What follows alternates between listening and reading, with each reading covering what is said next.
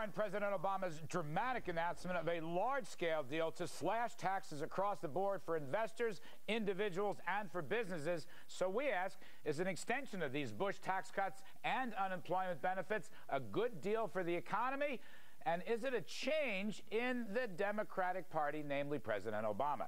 Here now we have Democratic policy analyst and syndicated radio host Mark Levine and syndicated columnist and syndicated radio talk show host Ben Ferguson. Mark Levine, it's good to see you on a night when President Obama definitely listened to the message of the elections. So I'll just throw you a softball. What do you think of it? Uh, what do I think of it? I hope the House Democrats reject it. Look, there are some good points in it. I'm glad the Obama tax cuts got extended. Remember, for the vast majority of Americans, they're much larger than the Bush tax cuts. We all know that the money going to the millionaires, to the 0.1% of Americans that make more than a million a year, won't help the economy at all, will just vastly increase the deficit, and will eventually probably come out of poor people, middle class people, Social Security checks. That makes no sense at all. But, you know, Obama, in order to help the vast majority of Americans, had to pay off the Republicans. The Republicans were holding the economy hostage. and so they had they, they paid them off. I, I disagree. I, I'm very disappointed in President Obama. I'm starting to think that I should have voted for Hillary Clinton. Uh, this is such a great night. I mean, you, you, you hear him talk about this. The part you heard the president say tonight. Yes, he trashed wealthy people. The fact of the matter is, he had no other option but to do this if he wants to try to save the economy. I think he realized that his liberal ideas were not working. The last election said to him it's not working, and he knew that if he didn't extend these tax cuts, that the economy was going to continue to go in the negative direction and unemployment rates were going to go up. I think the president finally realized what other liberal Democrats still don't get for some reason is that it's better to have Americans keep their money, no matter how much you make, than the government spend it and it not work out. Mark Levine, look, if it's good for most Americans, you yourself acknowledge that. It's good for the majority of Americans. If it's good for the economy, as our investor experts suggested, as did Ben Ferguson, why isn't it therefore a good thing for President Obama and the Democratic Party? Isn't it time the Democrats try to at least look like they're in favor of economic growth instead of just the usual redistributionism?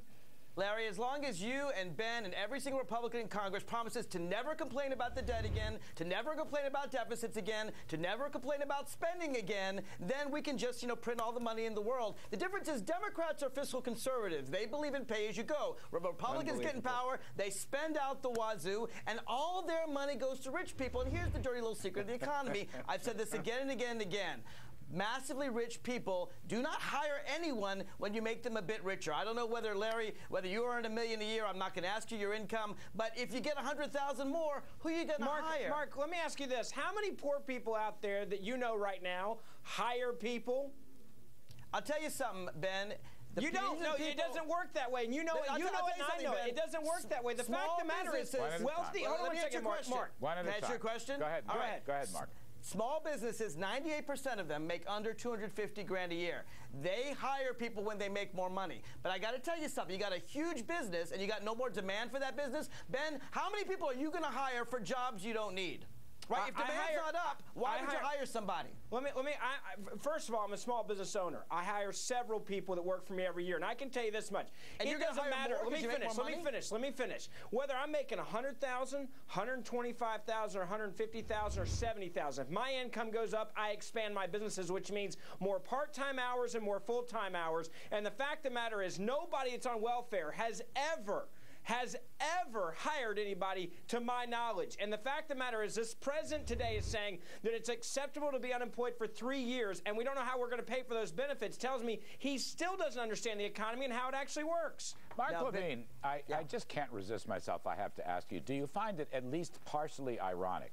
That the centerpiece now of President Obama and the Democratic Party's economic growth plan, that being this deal that was announced today, across the board tax cuts for everybody, is in effect almost identical to the economic policy of George W. Bush, the late, great George W. Bush. Well, what do you make of that? I make of it that the economy's not going to do as well. We all know that the Bill Clinton tax rates created 22 million jobs. The Bush tax rates barely created a million. At the end of the day, we're in this. Remember why we're in this mess. Why do we have a four trillion dollars deficit as, as high as the eye can see? Because George Bush took all of our national wealth and gave it to rich people. Now they're extending that. I understand that because you know, the Republicans held the economy hostage. But at the end of the day, it makes us more and more like Mexico. It makes us more and more like a country we have very few extremely rich people and the rest of middle class people struggling. And I got to tell you, I don't believe taking more Larry, money from the poor, are, give it to the rich. But helps. there are payroll taxes. There's unemployment extension. I support there's those. there's business investment uh, incentives. I'm mean, okay with that too. Ben Ferguson, do you think the Democratic Party, just because it's George Bush's policies, I mean, actually, they, they hate it. They despise I mean, it because it has the name George Bush on it. All right, I so mean, let, us just call it the 2003 tax. How would you plan. pay for it, Ben? All right, let's go there. Ben uh, Ferguson, talk to me about. After all, the Tea Party movement. I asked this question of John Howard earlier. The Tea Party movement worries about the deficits, worries about the size of government. Now, nobody in either party wants pay-as-you-go rules to govern these tax cuts because the economy is so weak. But how does this play out down the road, Ben, regarding fiscal prudence? Look, I think I think the Republicans that are going to Washington now know that they can't be like the same Republicans that were there in 2004, 2005, and 2006. They know they're going to have to make cuts. The question is, is this president going to lead on cuts as well? I mean, you and I, the reality is with the economy the way it is now, you gotta you can't have taxes go up. Do we have to pay for this in the future? Absolutely. Do we need to start figuring that out right now? Yes. And the people that are going to Washington now, I think, know this. They ran on this. They said, look, yeah, but ben, we're you going still to slash and burn. specific. How would you pay for it? How would I pay for it? Well, yeah. first of all, I'd stop all the entitlements. Second of all, I would make Social it unacceptable. Let me finish. Let me finish. I would make it unacceptable to be unemployed for three years in this country and have the government give you a check to do that. That's unacceptable behavior that creates laziness in this country. It doesn't take three years to find a job. Now, so Ben's plan is end pensions, create food lines, get people out of their homes. Said. Here's the secret that costs the economy. If people can't afford to buy toys for their kids at Christmas, if Bob Cratchit can't get any money from Uncle Scrooge and all the money goes to him, there will be no Christmas. But Mark, Mark this compromise, Mark, with this compromise tonight, Mark, let me ask you this. How long is long enough to find a job in America today? How many years of unemployment is the point where we say no more from your opinion? At the end of the day, it's because people can afford toys. That's not what I said. I asked you how many years to make toys. How you many years it take to find a job in America? It's not their fault but that there are no jobs. I'm not blaming the them. I'm saying at some point it's called laziness. There's no consumer demand. Hang on and one there's no consumer demand because all the money's going to the rich. Mark Levine, let me ask you this.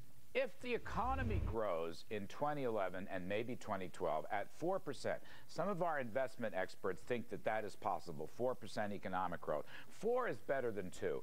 Does sure. not President Obama benefit? Does not the Democratic Party benefit? The same way that when John F. Kennedy lowered tax rates, that was his proposal. LBJ got it through. The economy roared, and the Democrats feasted at least for six or eight years politically. In other words, why can't you overcome if it's a growth package? Why isn't it good for Democrats as well as the country?